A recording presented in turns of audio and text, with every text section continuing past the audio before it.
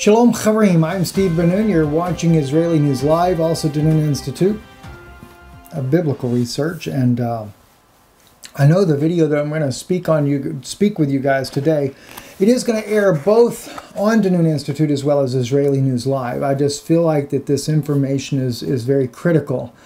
And uh, so I think that it, it's imperative that we share this information with both channels.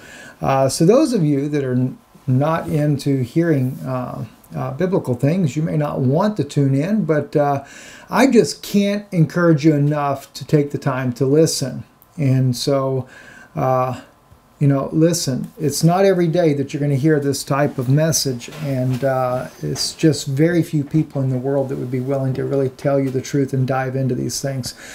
We're looking at Matthew 24, and I'm actually starting a little further down in the chapter uh, because there's some very important things that I feel like have been overlooked for two millennia.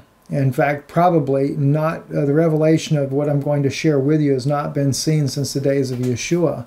So I trust it's a blessing to you, and I just I want to quickly ask the, our, our eternal Father to bless what I'm going to say before I speak to you. So, Heavenly Father, I ask you in your mercy that you would guide my lips and my tongue that I would not speak anything that would be contrary to your word, but it would be a blessing and an edification for the people that listen here tonight, Father, and that it may touch souls. Those that have ears to hear, may they hear. Uh, and those that do not, you will be the judge of this. In the name of Yeshua, I pray, so be it. Uh, amen. All right, so we get right into this real quick now. False prophets will arise and lead many astray, starting Matthew 24, verse 11. When wickedness multiplies, the love of many will grow faint. Uh, by the way, I'm reading from uh, Shem Tov's Hebrew Matthew. Uh, it's nearly verbatim like that of the English. There are some changes in there, or not shouldn't say changes, a little bit differences there. But uh, again, if you any of you that know Nehemia Gordon, uh, he'll let you know real quick. Like it is obvious that the book of Matthew uh, was originally written in Hebrew because the Greek just doesn't catch those nuances that, that are used in the language, uh, but the Hebrew does. And I, I concur with his, uh, his findings on that. But I'm using this one because there's a few little insights that I can share with you that I think are a bit more compelling about what's coming in this latter day here. So anyway, the false prophets will, will arise and lead many astray. When wickedness multiplies, the love of many will grow faint. Whoever waits unto the end will be saved. Uh, and this gospel, that is evangeli, will be preached in all the earth for a witness concerning me to all the nations. Then the end will come. Now, I believe that is a direct uh, prophecy of the two witnesses. They are the ones that bring the former and the latter rain uh, here in this last day. This is the Antichrist, by the way, uh, and this is the abomination which des- desolates, which was spoken of by Daniel, standing in the holy place. Let the one who reads understand. Then those who are in Judah, let them flee to the mountains. This is going to get interesting. Here we go now. Verse 17. Let's pay close attention to this verse right here. Let me see, I might be able to highlight this yeah, a little bit. He who is upon the house, let him not come down to take anything out of his house. You know, I've looked at this for years, and really, and even the next part, he who is in the field, let him not turn back to take his garment. That just sounds kind of odd, doesn't it? Maybe not as odd if we realize it's more of a metaphor. Let me show you what I mean here. Let's look at this from the Hebrew language. We're in the seventh verse right here. Ve'ashad al habayit lo yored lakorot uh, shum davar mebayato. All right, in the Hebrew language, and, with, and which uh, uh, he which is upon the house Lo yored, don't come down. Lakrot. Now this is really a, a, a, almost an odd place for the word lakrot to be there. All right, so if you want to take it literally, don't come down. That happens to take anything. from his house. He's not talking about your physical house. He's talking about this house. He that is upon his house. In other words, the one that has been able to subdue and to control and has gotten victory over this flesh, not just over the things of the world, but he has got the revelation. He or she who has the revelation. When, you, when the time is coming, see, don't come down when the Antichrist time is here. Now, this is important because the Antichrist is coming to try to do what? The Antichrist is that is the abomination which desolates, which was spoken of by Daniel standing in the holy place. Let the one who reads understand. If you guys remember a while back, I said to you, the Antichrist, although they will build a third temple in Jerusalem, which is not of God, the true place where the Antichrist wants to sit is in your human heart. He wants to be right here. Well, he can't get here, so he's going to try to get here in your head. All right? This is what Yeshua is trying to warn you about. This Antichrist is coming. He's the abomination which desolates. What is he going to desolate? The human body, the human mind. They're coming out with the 5G technology. And by the way, where, where did I put that? I actually, I just got a book in by uh, Senator Patrick Colbeck.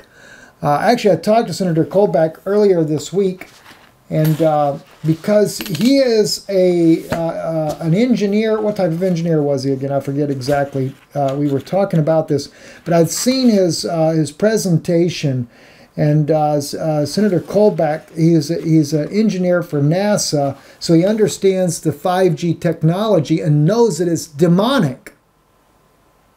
Right? Well, between 5G, nanoparticles, developed by an Israeli company, thank you very much for those elites that want to control the brain. Uh, between these things, breathing this in, microchipping, all of this, what is it? The Antichrist is looking to do what? To desolate the temple of God, which you are that temple. So when we begin to recognize what the Antichrist is coming to do, then you have to understand those who are in Judah, let them flee to the mountains. He who is upon the house, you have control you have put on the full armor of God, as Paul speaks about the helmet of salvation. This much deeper than what people probably realize. Let him not come down to take anything, shum davar, out of his house. Right? Don't take nothing. Because the physical flesh is not what matters. You've got control and you've allowed the Holy Spirit to dwell in you properly.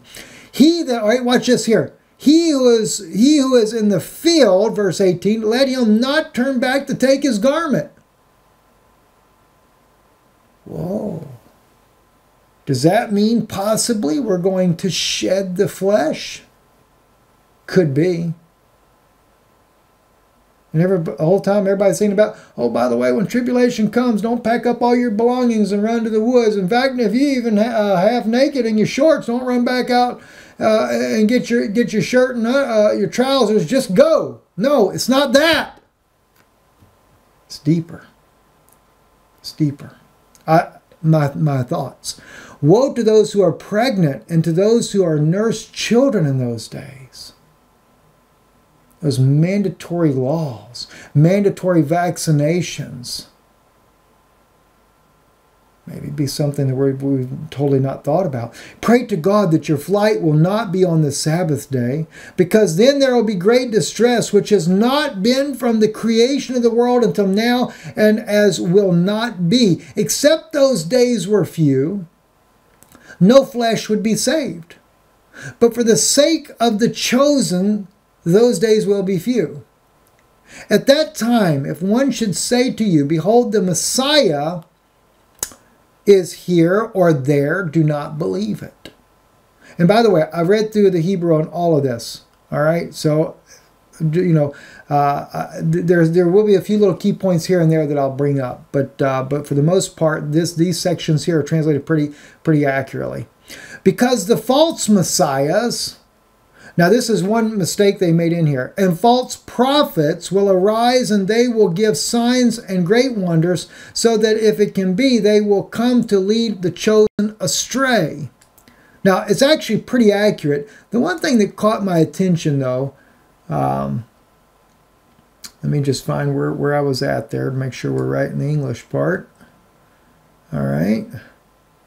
All right, verse 24 in the Hebrew right here. All right, so we have uh, Mashiach, Mashiach, Moshiachi, uh, She'im Yachol, wait a minute, oh, no, read the wrong, wrong line.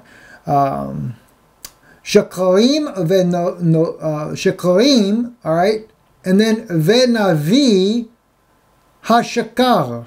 All right, now the word shakar is the word for lying. It's a liar. All right, so there will be li- anointed liars. Now, see, this is in the plural. Now, the prophet is not uh, navi, singular, as you would think. It does seem to be, it seems to be plural as far as the prophets, but the lie is singular. Whereas the anointed ones, they're telling lies plural.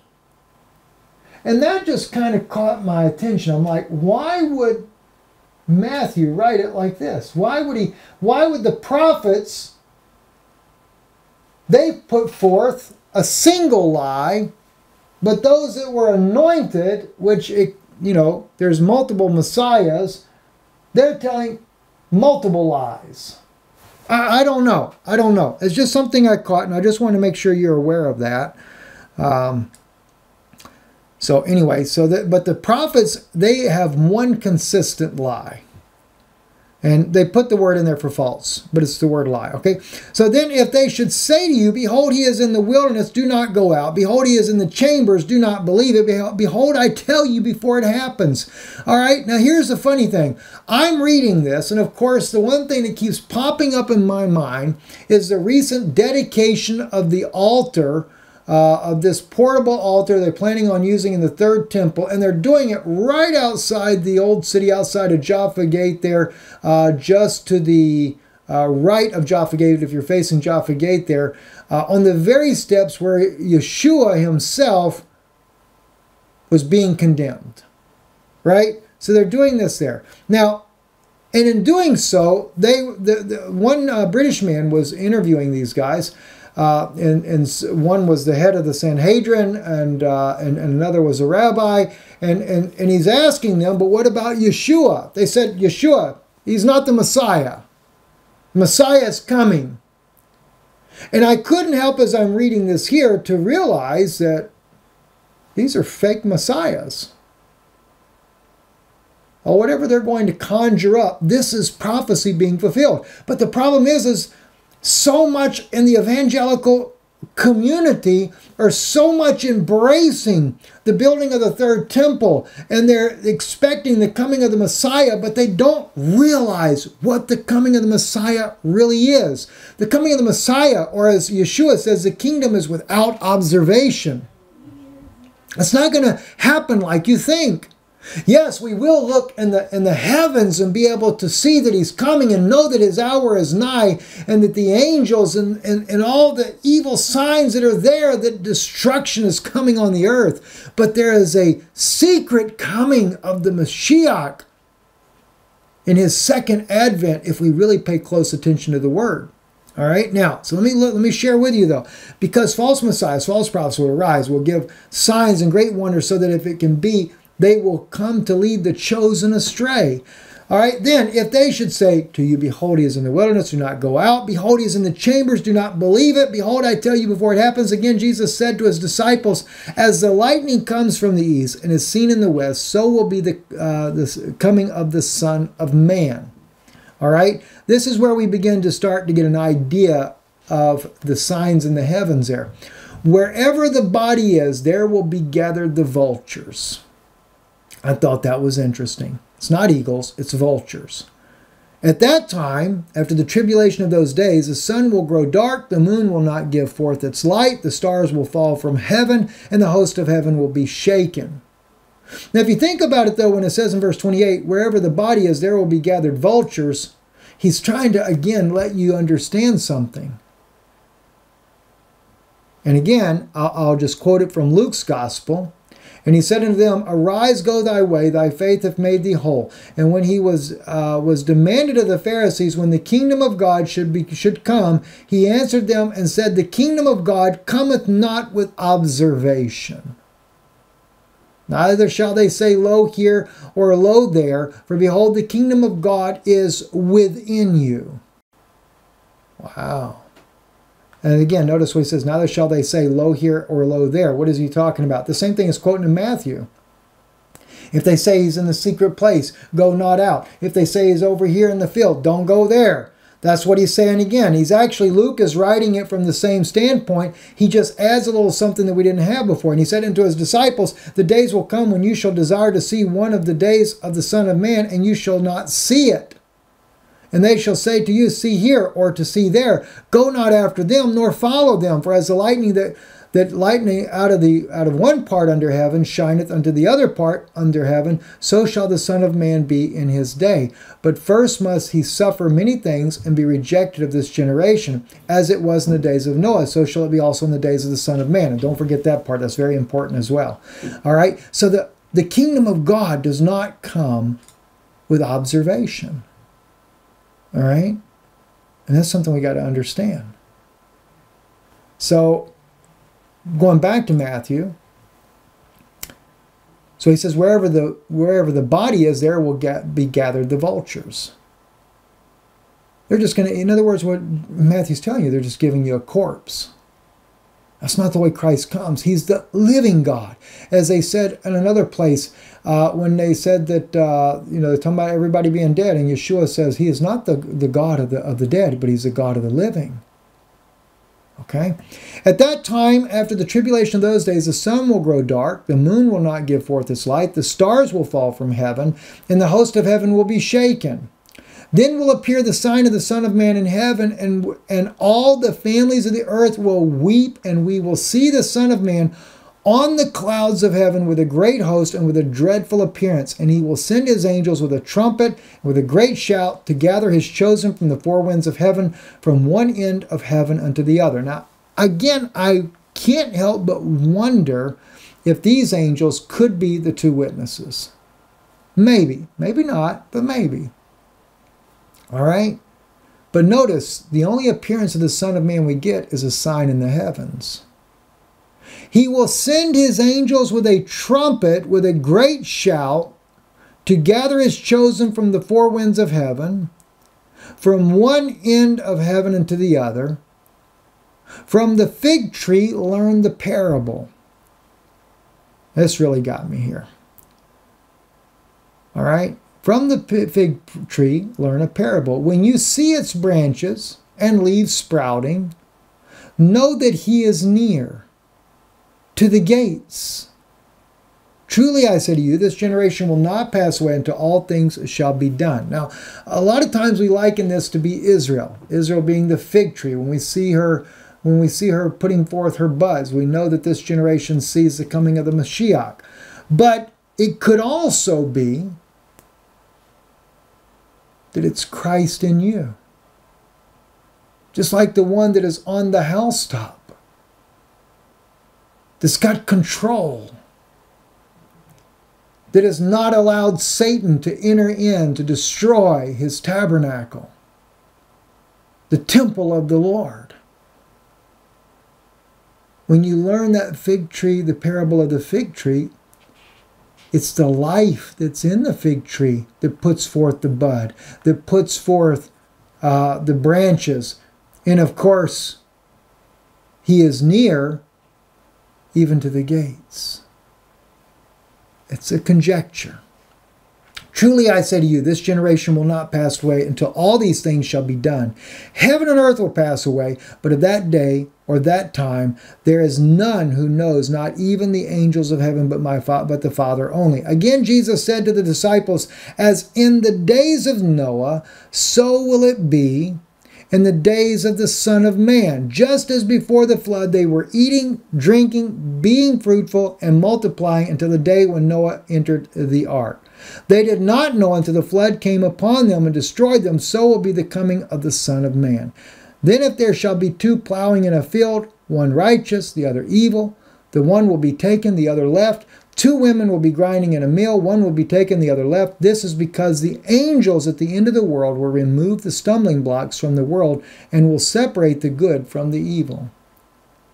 Now, Yeshua was called the stumbling stone, singular. Just think about that. Now, I also had brought uh, uh, brought up too Matthew chapter 7, verse 19. And again, I look at this one because of the parable of the fig tree. Every tree which does not make good fruit, it is burned in the fire. Therefore, it is according to the fruits that it, that it, that is. By their deeds you will know them, because not everyone who says unto me, Lord, will enter into the kingdom of heaven, but the one who does the will of my Father who is in heaven will enter in the kingdom of heaven. Many will say to me in that day, Lord, Lord, did we not prophesy in your name, and in your name cast out demons, and do many signs in your name? Then will I say to them, I never knew you. Depart from me, you workers of iniquity. Again, notice every tree which does not make good fruit is burned in the fire. Therefore, it is according to the fruits that, that, that is that is by their deeds you will know them. There's that parable of the fig tree when she's putting forth her buds and her branches. That's when you know Christ is near. Because what? The kingdom of God is not with observation, but the kingdom is nigh you, even in you. There's something about to happen in this world, friends. As they're so busy getting ready for this third temple, and they're putting out their Cyrus coin and their their false uh, false prophecies and all their lying prophecies and their lying anointed ones that are going to be coming forth. And it's interesting that the Messiah is a plural. You know why they're plural? I think it could have a lot to do because the Muslims have a Mahdi and the Jews have the Mashiach that is coming, and even the Christians have their own idea of what the Messiah will be when he comes, but it may not come like any of them think. So there's so much lies about who the Messiahs are, and then of course the prophets also are prophesying falsely as well. We're living in a very strange age. But there's got to be a former and latter rain that will help us. The question is, is will we hear when the hour comes? And has the rain already begun to fall? Think about it. I'm Steve Ben-Nun with Israeli News Live, the Institute of Biblical Research. If it's a blessing to you and you want to support the work we do, we thank you for your kindness and your support. Um, you can do so. We have the address here below the screen, and also uh, you can give online at IsraeliNewsLive.org or join us over on Patreon. Uh, Patreon.com forward slash Israeli News Live. In fact, we just this weekend loaded up two more broadcasts there, and I'm sure it'd be a blessing to you. I'm Steve Ben-Nun.